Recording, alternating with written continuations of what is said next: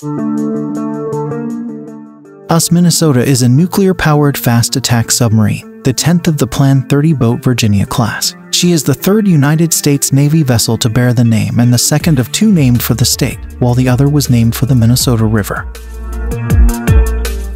After commissioning, Minnesota remained at the General Dynamics Electric Boat Shipyards in Groton, CT for over two years. A broken pipe joint was discovered in the vessel's nuclear reactor. The pipe had been tampered with in order to make the part appear within specifications. Although a failure of the pipe would not result in a reactor incident, it would affect the reactor's ability to produce steam used for propulsion.